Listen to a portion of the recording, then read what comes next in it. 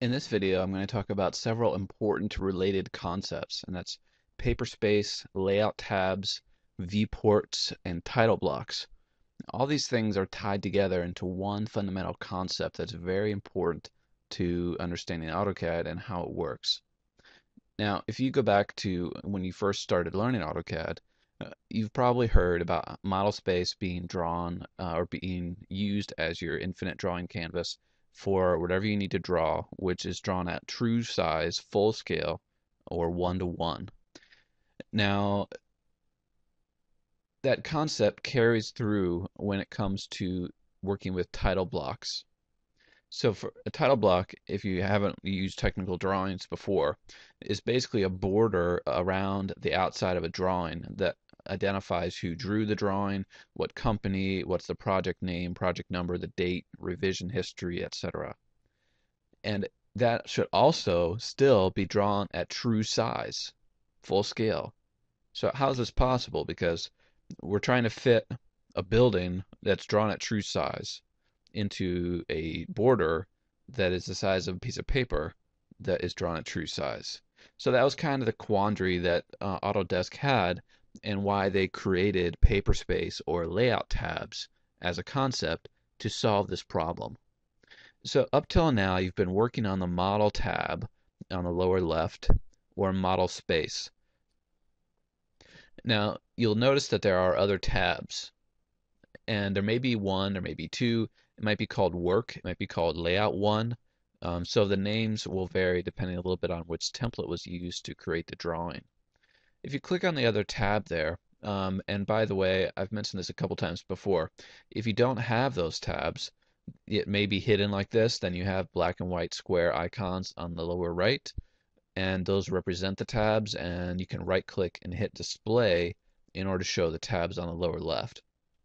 So if you click on one of those tabs, such as work, you will see kind of a white outline that basically is intended to represent your paper and you may or may not have the grid showing up or parts of your drawing showing up and a couple little window type things shown there. You may only have just a white outline. You may not even have that. It depends a lot on how the file is set up that you're working with. But let's back up a little bit and talk about what is the concept of this tab that we're on now. So the model tab is called model space. That's where you draw the model the building. The tab that we're on now is considered paper space. Represents the paper. This is what you would visualize as the final sheet or printed drawing is what you'd see in front of you now. Now, I did go over before how you can print from model space, and that's still true. When you want a quick print, it's always possible. But what you do in paper space is intended to be your more formal, organized, final drawing in the title block at a certain scale in a kind of a finalized setup. So a couple little clarifications about what this is for or how to work with it. First, at the very bottom right, you'll see a button there that says model or paper. That's going to be a very important button. We'll come back and talk about that a little bit more in a few minutes. Now, if you, we'll come back and talk about that more in a few minutes. Now, if you have any um, windows showing up that are already here, you'll notice that you can click on this model paper button and it switches you back and forth um, between working in the window, which is technically called a viewport, and working out of the viewport. Now, if you're in paper mode with that button, then you can select the viewport as an object and delete it so that we're starting with a clean slate. So now all I have is the outline of my paper. So you have to visualize this as your finished paper uh, with the title block and all that stuff on it. So the concept of how this works is you basically cut a hole in this window, and that's I just deleted two of those, and they will display whatever you previously drew in model space or whatever you draw in the future in model space it'll continue to always be active and show whatever's in model space. So the holes that I'm talking about, or the windows, are called viewports. You can get to the viewport setup or to create viewports, um, go to the View um, tab on your ribbon. And then you'll notice there's a viewport section or panel, including uh, create polygon shape ones or just new. So I'm going to start with just simple new for right now. And when you click on new, it pops up with the, the viewports dialog box. And then you can choose whether you want just a single one or you can do two or three or more and pick a configuration. If you have a certain goal in mind of I need four viewports to perfectly divide up my paper, then you could do four. But 90% of the time what I do is single because I usually do one at a time and kind of set it up the way I want. But you could play with the other options if you want. So I'm going to hit single and then OK. And now you're clicking two corners just like drawing a rectangle. Click and click. So you may remember uh, when I started, I had this rectangle over here in uh, model space, and I drew that very quickly as like a representation of a plan.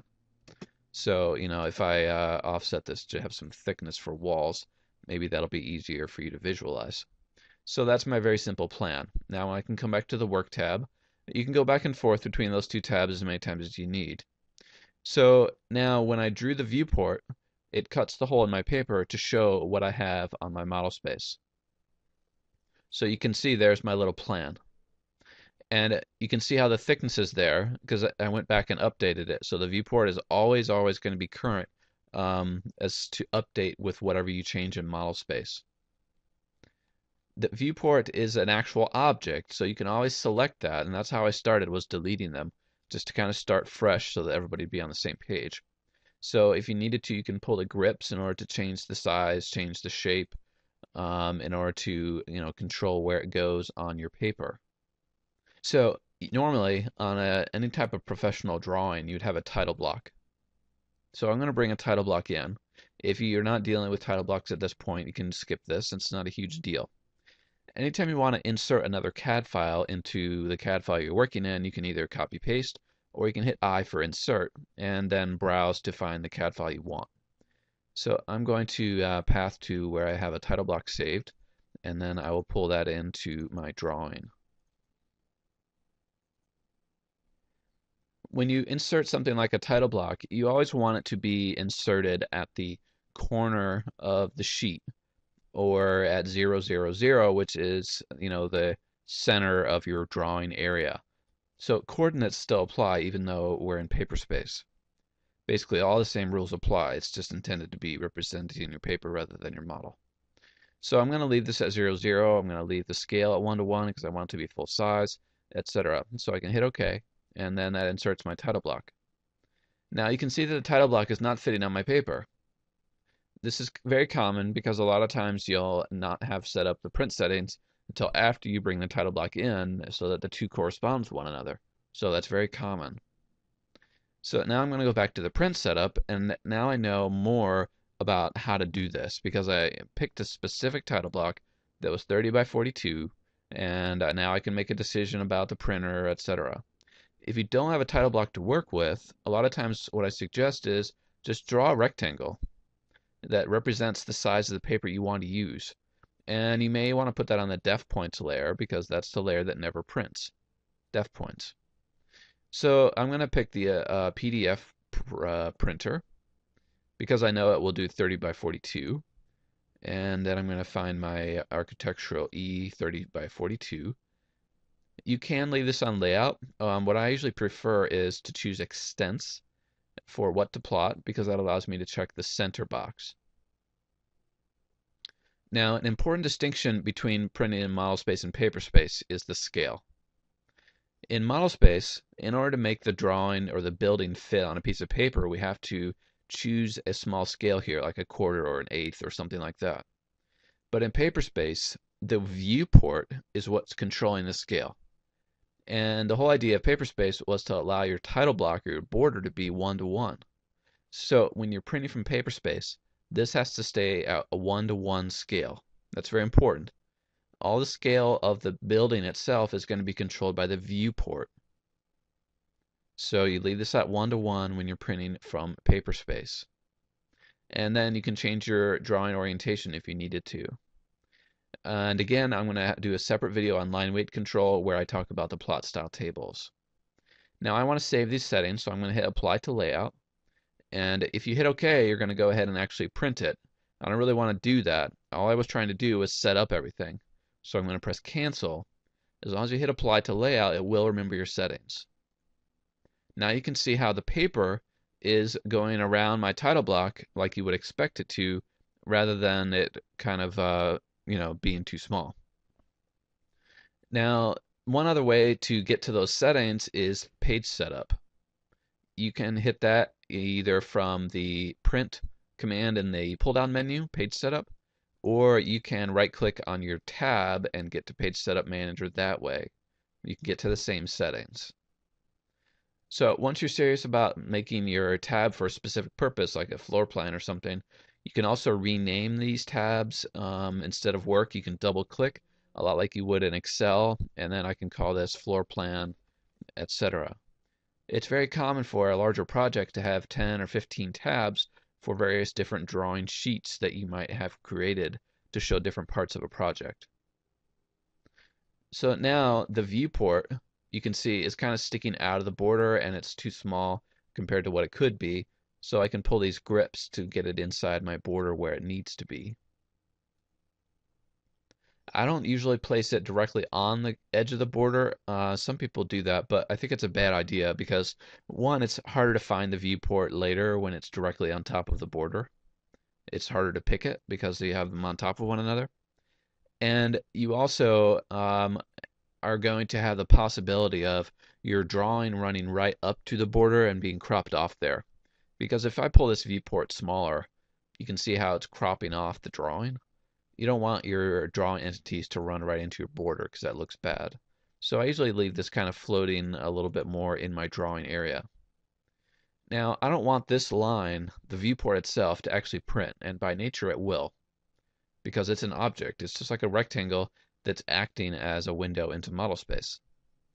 So I'm going to put that on the def points layer, and this is a little subjective. A lot of companies have a specific layer for viewports, and that's actually the best way. Um, so you can either put it on a viewport layer, or you can put it on the def points layer. And again, that layer is built into CAD, and by definition, it will never print.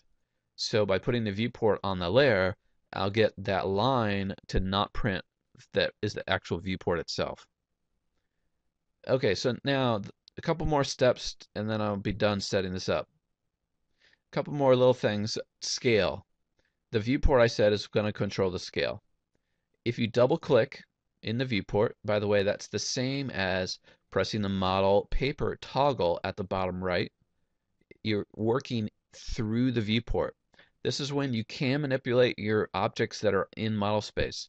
So don't go deleting things or whatnot because you'll be deleting them from the actual project. But this is how you set the scale. You can double click and I can pan and zoom just like you would in model space to get your plan kind of centered. N notice that when you zoom, you are changing the scale, but right now it doesn't matter because I haven't set it yet. Now I can come down to the, the scale pull down at the lower right, and let's say I want this to be quarter scale. I might even be able to go larger than that. Let's do, yeah, let's do half inch scale. But this is an easy way to check and see okay, what scales can I use to where my drawing will fit on the title block or border or the paper that I have. So you set the scale that way, double click and pick it from the pull down. Now be careful not to zoom because if you zoom, you've screwed up the scale. See, there it goes. Now it's not a half inch anymore. And you can tell because it doesn't say half inch down here on the lower right. So usually what I suggest is that once you get it right, you can click the little lock and that will lock the scale so that uh, you won't screw it up anymore.